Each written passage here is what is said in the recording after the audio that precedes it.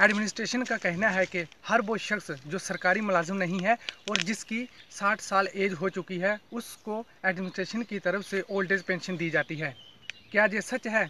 इसी बात को जानने के लिए मैं डिस्ट्रिक्ट कठुआ के विलेज ठाकुरपुरा, शेरपुर गया।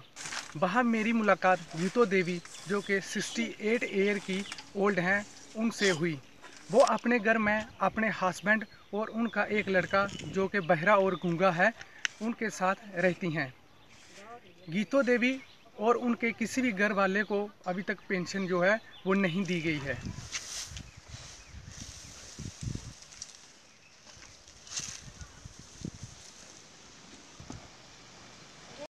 साड़ी पेंशन लगी त्रै एक कड़े च नहीं लगी। सट्ठ साल उम्र पई है साड़ी, दोनें दोनें दी। ते कुसै ने पुच्छेआ निं कुसै ने बात निं पुच्छी कुसै ने किश निं ना कोई पेंशन लोआई ना कोई किश छड़े आखदे हाँ जी लोआने आं दिन्ने आं। जाओ जी फलानी जगह जाओ ओह् फलाने कोल जाओ टिंगड़े कोल जाओ। तरले करी करियै महा मड़ो इक बारी सानूं दस्सी देओ सानूं ओह् बी निं दस्सी जगह। गीतो देवी पिछले चार सालों से अपनी ओल्ड एज पेंशन लगवाने के लिए ऑफ़िस के चक्कर लगवा रही हैं। उनके इस मसले को ना किसी एडमिनिस्ट्रेशन ने देखा और ना ही किसी एडमिनिस्ट्रेशन के ऑफिसर ने उनके इस मसले की तरफ़ तवज्जो दी। गीतो देवी की माली हालत बहुत ही ज़्यादा ख़राब है। वो लोगों के घरों में थोड़ा बहुत काम करके अपने घर का खर्च चलाती हैं।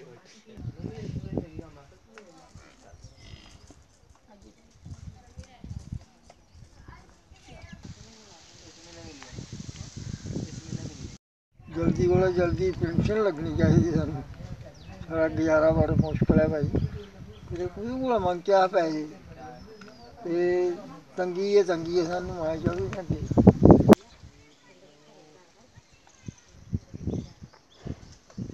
हून इ'यां ऐ भाई अस भाई बड़े गरीब ते सानू पेंशन चलो लोआई ओड़गे ओ ते मेहरबानी ऐ थुआढ़ी ते एह् ऐ भाई, अस बड़ी मुश्कल नै इ'यां गुजारे करा ने आं। ते चलो थुआढ़े पैर थ्होई जा, ते चलो साढ़ा गुजारा होई जाग मैं कठुआ के social welfare officer Mohammad Ashraf से रिक्वेस्ट करता हूँ कि वो जल्द से जल्द गीतो देवी और उनके हस्बैंड करमचंद को old age pension लगवाएँ। Please call on this number call for change nine four one nine two eight zero zero zero four, ताकि उनके घर का खर्च है वो आराम से चल सके।